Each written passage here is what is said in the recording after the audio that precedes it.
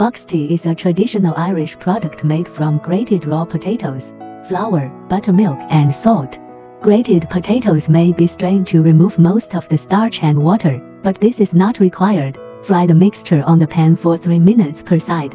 Just like regular pancakes, the most notable difference between boxty and other fried potato dishes is its smooth and creamy texture. Boxty is often served with other ingredients such as poached eggs and crispy bacon, poached smoked haddock and parsley sauce, smoked salmon and sour cream, smoked bacon and melted cheese.